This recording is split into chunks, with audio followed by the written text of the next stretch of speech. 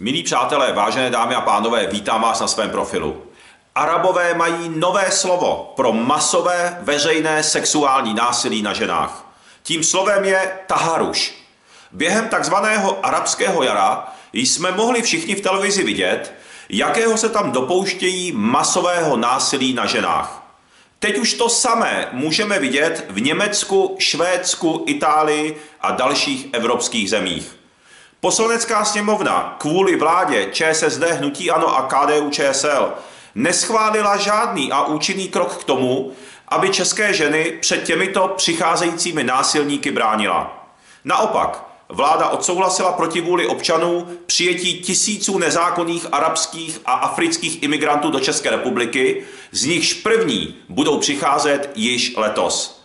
A nyní se je snaží aktuálně vnutit například zoufalým občanům města Králíky v Orlických horách. Myslím, že to mluví za vše. Ještě před půl rokem jsem v parlamentu slyšel arrogantní smích a sebejisté ujišťování, že žádný problém neexistuje. Dnes vládní strany i tzv. opozice debatují s cílem uklidnit voliče.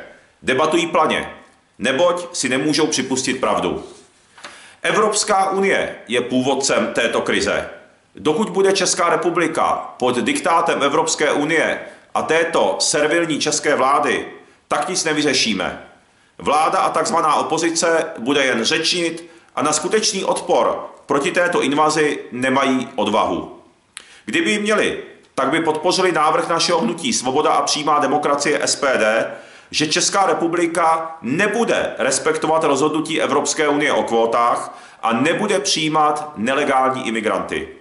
A také by vláda podpořila návrh našeho hnutí Svoboda a přímá demokracie SPD na vyhlášení referenda o vystoupení z Evropské unie, které nám v loni již třikrát zamítla, a také ohledně imigrantů. Tyto návrhy nám však vláda stále opakovaně zamítá. Mimochodem, v loni jsme ve sněmovně navrhli i zákaz islámského práva šaria a žihad v České republice, jelikož jsme přesvědčeni, že to odporuje ústavnímu pořádku v naší zemi a tento návrh našeho hnutí SPD nám vláda, vládní koalice spolu s takzvanou opozicí zamítli také. Co si o těchto tématech myslíte vy? Napište mi do komentářů. A jestli se mnou souhlasíte, prosím, sdílejte všem vašim přátelům, aby se dozvěděli pravdivé informace, které nezaznívají v českých prolhaných a zmanipulovaných médiích.